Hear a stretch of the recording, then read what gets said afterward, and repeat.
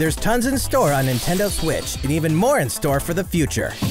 Join more than 38 million players for free to play co op Space Ninja action when Warframe launches November 20th. Get down to Camila Cabello, Bruno Mars, Cardi B, and more anytime, anywhere in Just Dance 2019 on October 23rd.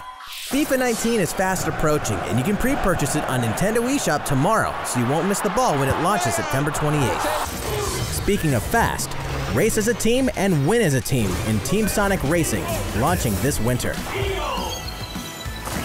The highest rated basketball simulation franchise is back. NBA 2K19 is available now on Nintendo Switch.